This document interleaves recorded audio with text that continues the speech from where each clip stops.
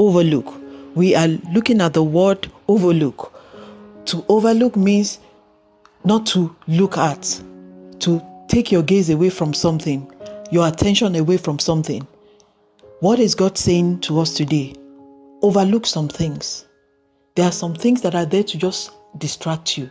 There are some things that are there to slow you down. You can't afford to give everything your attention, otherwise, you miss the main thing.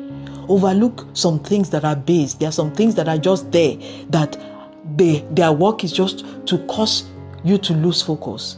Overlook them. Don't get yourself involved in things that is not going to hurt to you.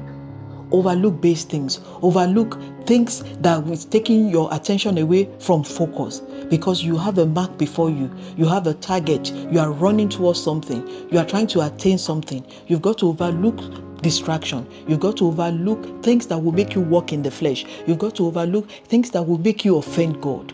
All you need now is determination. So you are overlooking distraction. You are overlooking lies coming from the enemy's camp. You are overlooking things that doesn't sound like God. You are focused. You are aiming forward. You are aiming higher because you got to overlook those things because you want to get to the finish line.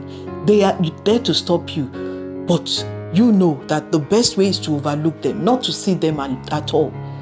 God has given you that ability to be able to keep your focus. The Bible says that He has given us everything that pertains to life. So don't say, I, could, I cannot help it. The Word of God has enjoined us in Proverbs 4, from verse 25 to 27, how we can keep our focus. So overlook them and ensure you win. Have a blessed day. Take care.